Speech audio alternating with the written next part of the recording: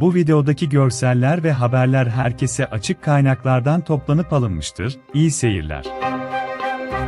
HDP, YSP'lilerin terör operasyonları hakkındaki açıklamalarına tepki gösteren BBP lideri Destici, AYM ve TBMM'de temsilcisi bulunan partilere HDP'nin kapatılması için gerekli işlemlerin yapılması çağrısında bulundu. BBP Genel Başkanı Mustafa Destici, HDP, YSP'lilerin terör operasyonları hakkında yaptığı açıklamalara tepki gösterdi. HDP'nin PKK, PYD-0 YPG terör örgütünün siyasi uzantısı olduğunu vurgulayan Destici, AYM ve TBMM'de gruba bulunan partilere çağrımız terörün siyasi uzantısı olan bu sözde siyasi partinin kapatılması için gerekli hukuki işlem ve girişimler behemahal yapılmalıdır, ifadelerini kullandı. Destici ayrıca, HDP-YSP'nin Türk siyasetinde ve Gazi Meclisimizde bulunması Türk demokrasisi için bir kambur terörle mücadele için ise büyük engel unsurudur. HDP-YSP kapatılmadığı müddetçe terörle mücadele tam anlamıyla başarıyla icra edilemeyecektir, değerlendirmesinde bulundu. Altılı Masa partilerinin, terör operasyonlarına açık destek vermemesinin kendisini şaşırtmadığını,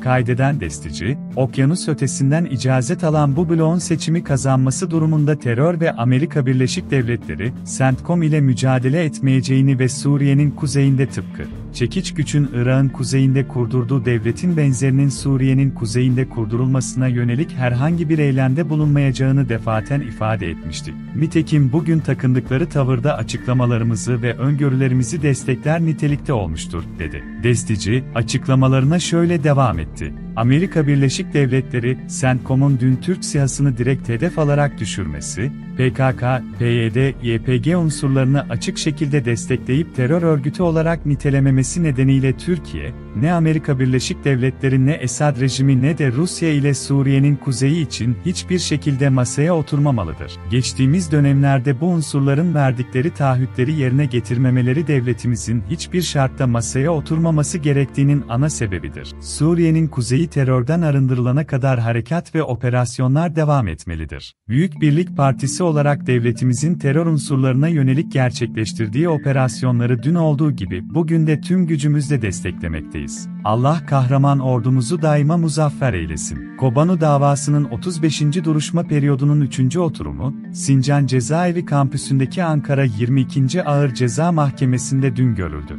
Davada, Halkların Demokratik Partisi'nin, HDP önceki dönem eş genel başkanları Figen Yüksekdağ ile Selahattin Demirtaş, Demokratik Bölgeler Partisi, DBP, eski eş genel başkanı Sebahat Tuncel, HDP Onursal Başkanı Ertuğrul Kürkçü ve HDP MYK üyelerinin de aralarında bulunduğu 108 kişi yargılanıyor. 3530 sayfa ve 324 klasörden oluşan iddianamede 108 siyasetçi için, devletin birliği ve ülke bütünlüğünü bozma ile 37 kez insan öldürme, başta olmak üzere pek çok suçtan ceza isteniyor. Rivayet, dedikodu ve izlenimlerini aktarıyor. Beyanlarını sürdüren tutuklu siyasetçi Alp Altınörs, dosyada yer alan gizli ve açık tanıkların verdiği çelişkili beyanlardan bahsetti. Aleyhlerinde tanıklık eden Kerem Gökalp'ın hiçbir zaman HDP'de yer almadığını ve HDP toplantılarında da bulunmadığını, bu nedenle HDP'nin işleyişine dair herhangi bir beyanda bulunmasının ciddiye alınmaması gerektiğini dile getirdi.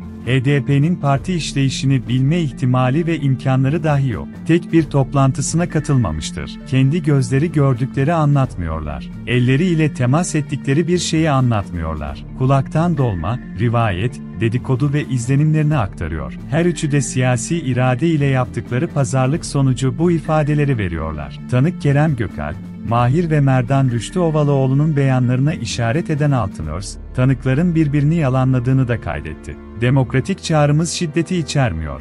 Davayı kumpas olarak değerlendiren Altınörs, şöyle devam etti hiçbir illiyet bağımız olmayan olaylar ile suçlanıyoruz. Hiçbir şekilde bizde bir bağı olmayan davalar üzerinden suç isnat edilmektedir. Savcılık, sevk maddesinde yer almayan 302 ten ceza istemektedir. Partili savcı Ahmet Altun'un elinden çıkan bu siyasi belgeyle bizi cezalandırmaya çalışıyorsunuz. Bizim demokratik çağrımız şiddeti içermemektedir. Dolayısıyla Diyarbakır, Mardin ve çeşitli yerlerde yaşanan cinayetler bu tweet ile ilişkilendirilemez. Ölümler ile ilgili yapılan davalarda, tweet ile bir bağlantı kurulamamıştır. Yasin Börü ile ilgili görülen davada tweet dosyaya konulmaya çalışılmış ancak mahkeme bunu reddetmiştir. Beklenmeyen bu şiddet olayları nedeniyle eş genel başkanımız Selahattin Demirtaş, 9 Ekim'de partimizin resmi hesabında duyarlılık çağrısında bulunmuştur ve şiddetin son bulmasını istemiştir.